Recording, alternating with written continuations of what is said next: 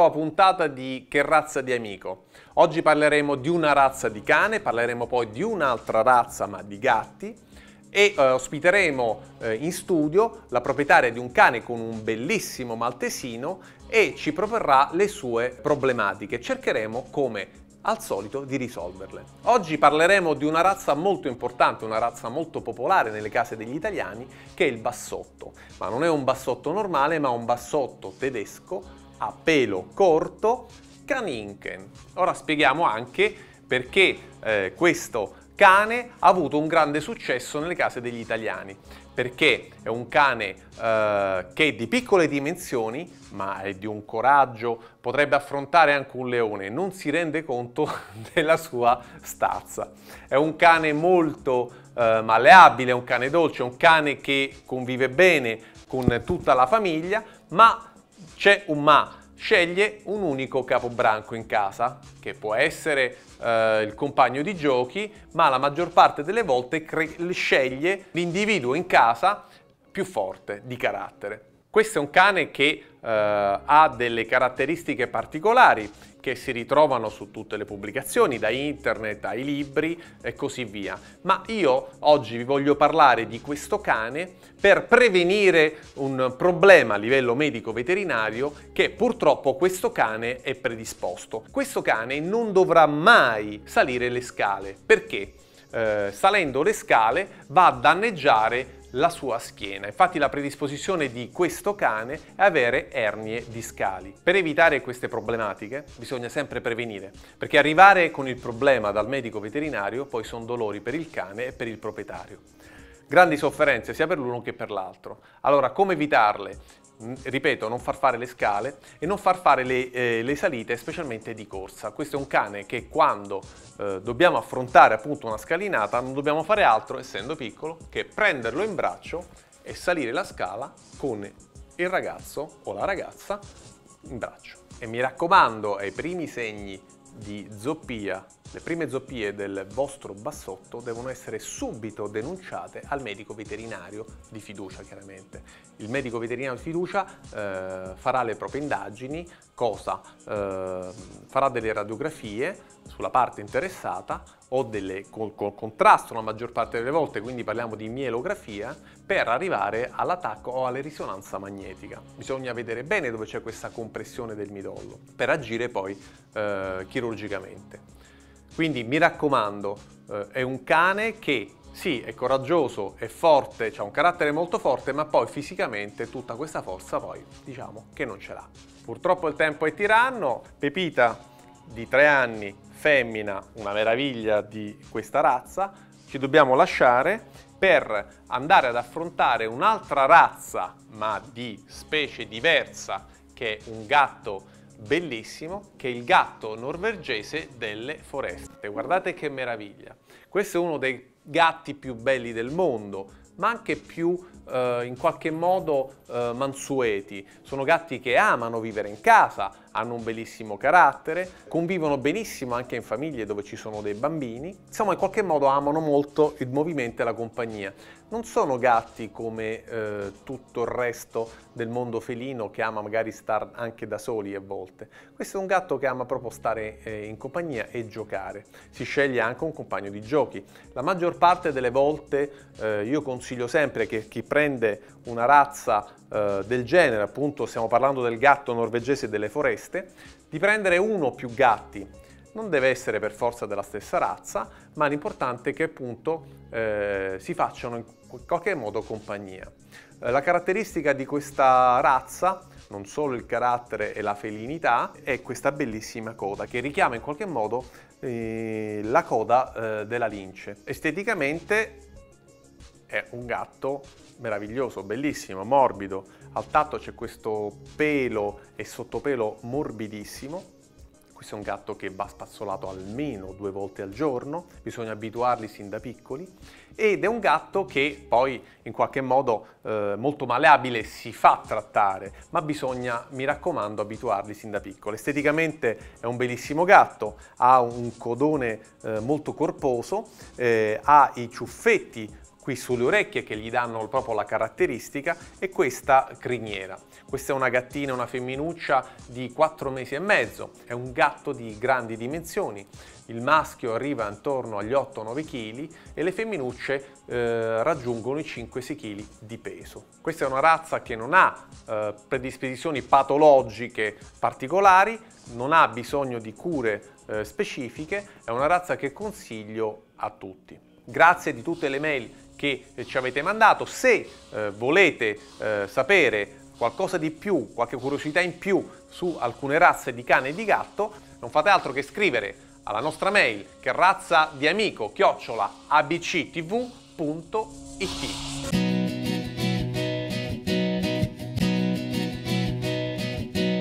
Bene, eh, un'altra mail che ci è arrivata giorni fa eh, ci chiedeva una visita di controllo a Nina, una bellissima maltesina.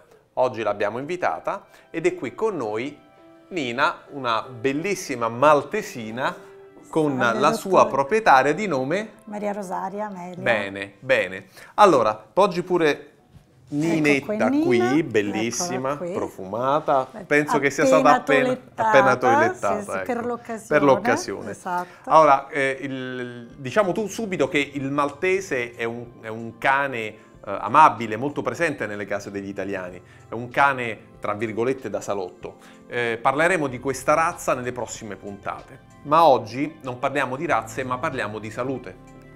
Eh, lei ci ha scritto che voleva eh, che io facessi una visita di controllo. Ma perché questa visita di controllo? Sì, appunto eh, Nina deve eh, fare la sua solita vaccinazione annuale, eh, vedendo appunto la trasmissione e così eh, prendendomi cura estremamente del mio cane, pensavo di approfittare per far sì che prima della vaccinazione potesse fare eh, una bella visita magari di controllo. Lei ha detto una cosa interessantissima che interessa a tutti i telespettatori. Eh, dovete sapere che eh, il, il giorno in cui il veterinario vaccina il cane non è un giorno solo della vaccinazione, ma il giorno in cui eh, ci si incontra e in qualche modo i proprietari dei cani, come lei, un attento proprietario di cane, eh, racconta tutto ciò, tutto quello che è successo durante l'anno, perché certo. le vaccinazioni sono annuali con un richiamo semestrale poi diciamo anche che tipo di vaccinazione si fa. E l'incontro col medico veterinario almeno uno o due volte l'anno è importante, perché in qualche modo eh, il motivo della vaccinazione è una scusa.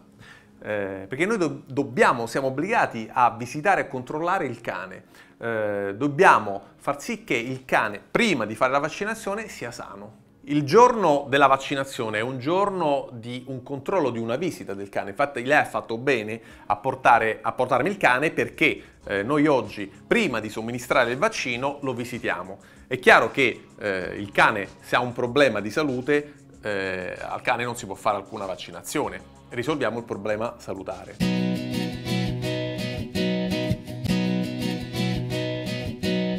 Oh, la visita eh, si inizia chiaramente dalla testa a finire caudalmente. Allora iniziamo a controllare il cane, ma prima ancora di controllare il cane e di visitare il cane, eh, il medico veterinario, lo dico a tutti voi telespettatori perché è importante fare delle domande, il proprietario deve eh, in qualche modo raccontare tutto quello che è successo nel corso dell'anno e specialmente negli ultimi giorni se il cane ha avuto un problema. Quindi il medico veterinario eh, fa delle domande al proprietario, come le farò io adesso, in modo che eh, sia chiaro un quadro di, di tipo eh, salutare. Allora, eh, negli ultimi giorni il cane ha avuto problemi respiratori, come per esempio tosse, starnuti? No, no, assolutamente, assolutamente no. no. Ha avuto problemi gastroenterici, come per esempio può essere un vomito oppure una, una diarrea? No, no, assolutamente ecco. No. Oh, uh, ha sentito un po' di rumorini nello stomaco, di gorgogli? No. Bene. No. Allora, ci siamo informati in generale che il cane più o meno non ha avuto né problemi respiratori né eh, appunto gastroenterici. Chiediamo in più se le feci sono compatte nel momento della defecazione. Assolutamente sì. Se ha un'urinazione normale, se ha mai notato delle, delle gocce di sangue, del, del, colore rosa delle urine. No, no. Bene. Oh, a questo punto, eh, dopo aver fatto tante domande, dopo essersi informati che il cane in generale appunto degli ultimi giorni prima di venire eh, in visita ambulatoriale, sta bene. Iniziamo appunto la visita. Come dicevo prima, iniziamo dalla testa. Oh, innanzitutto iniziamo a scrutare eh, le narici. Ecco, le narici sentiamo se eh, l'aria esce senza alcun ostacolo. Ma come si fa? Si ottura una delle due narici e poi ci si avvicina per sentire se l'altra narice è libera. Ed è libera. Facciamo la stessa cosa con la collaterale e sentiamo se è libera anche l'altra. Poi iniziamo ad esplorare la cavità orale. Allora, alzando leggermente senza traumatizzare il cane, andiamo a vedere il colore della mucosa, che deve essere roseo e deve essere lucido, come in questo caso. Oh, poi andiamo a vedere se ci sono problemi uh, a livello dentale, come per esempio può essere una cattiva igiene eh, orale, così proponiamo eventualmente una uh, detartrage alla proprietaria appunto da far affrontare nei giorni eh, sicuramente dopo la vaccinazione. Eh, e a scendere controlliamo anche eh, gli occhi che devono essere ben aperto, lucido e senza tante eh, lacrimazioni. Dottore, approfitto un attimo per chiederle una cosa. Sì. Il pelo intorno al viso ha questo, sempre questo colore roseo, così, roseo ecco. è, è, difficile da mandare via. Esatto. Quale può essere un rimedio per mh, cercare di eh, ricomporre il colore del pelo all'altro pelo perché è sempre così. Ecco, se lei ci fa caso ho questo colore vicino alle mucose, là dove c'è, una, eh, dove c'è la lacrimazione. Questo colore roseo è dato proprio dall'acidità della lacrima. Eh, qui c'è innanzitutto, la devo rimproverare, una cattiva igiene degli occhi. bisogna pulire questi occhietti tutte le mattine, vede, bisogna togliere questo cispo all'angolo, nella parte interna dell'occhio. E questa, questo colore roseo che la maggior parte delle volte è difficile evitare perché comunque eh, c'è sempre una, una, lacrimazione di questo cane perché eh, è una predisposizione della sua razza. È sempre meglio pulirli. Ma come? Eh, basta un po' di cotone umido con, la, con acqua, con la stessa acqua, oppure acido borico, oppure ci sono delle sostanze, dei prodotti che vendono eh, nei, nei, pet shop che servono proprio a tenere pulito appunto questa parte del viso del cane. Poi si, si va ad esplorare appunto eh, le orecchie, quindi il padiglione auricolare esterno, si va a vedere che non sia infiammato, che non ci siano dei peli che ostruiscano appunto il condotto uditivo esterno, che non ci siano delle croste, delle infiammazioni. Eh, poi si, appunto controlliamo anche il condotto uditivo esterno con eh, l'otoscopio per vedere che non ci sia un tappo magari di cerume o che non ci sia un'infezione appunto lungo il canale e andare a controllare che il, timpano, che il velo timpanico sia integro. Poi andiamo scendendo a sentire se il pelo è morbido, lucido, se la cute è ben idratata. Ecco, per capire se un cane sta bene e se è ben idratato, bisogna prendere una plica di cute, così pizzicarla e aspettare e vedere in quanto tempo ritorna giù. In questo, in questo caso è tornata giù in un, in un, secondo, quindi vuol dire che il cane è ben idratato. Se ci avesse messo più tempo, il cane avrebbe avuto sicuramente un problema di disidratazione. Oh, scendendo andiamo a palpare e a sentire appunto l'addome se è morbido. Deve essere sempre morbido e il cane non deve fare ostruzione, non deve indurire eh, i muscoli addominali, ma ce lo deve far sentire comodamente. Così vuol dire che il cane appunto non ha dolore in questa zona. E adesso andiamo ad esplorare l'apparato respiratorio. Come? Lo ascoltiamo perché eh, dall'esterno eh, l'apparato respiratorio ci deve, noi dobbiamo sentire la cassa toracica vuota, non dobbiamo sentire ostruzioni o rumori che possano in qualche modo eh, ostruire il passaggio dell'aria sia che venga inspirata sia che venga espirata. Quindi lo vado ad ascoltare da tutti e due i lati, adesso faccio solo vedere come ma la cosa più importante a livello toracico è ascoltare il cuore, che sia tonico e regolare. Il medico veterinario, se c'è una insufficienza cardiaca, lo percepisce subito nell'ascoltazione. Dopodiché, se dovesse esserci questa insufficienza, eh, si iniziano degli esami collaterali, come per esempio un'ecocardiografia, per capire laddove è il problema cardiaco e dare una giusta terapia. Oh, una volta esplorati tutti questi organi, possiamo e abbiamo constatato che eh, il cane sta bene, una volta esplorato tutto il corpo dell'animale, visitato l'animale e visto che all'esame obiettivo generale il cane sta bene, possiamo procedere con la vaccinazione. Io chiaramente le chiederò qual è stata l'ultima vaccinazione che è stata fatta al suo cane. Marzo 2012. Bene, è il giusto tempo per fare un richiamo vaccinale. In questo vaccino ci sono più componenti.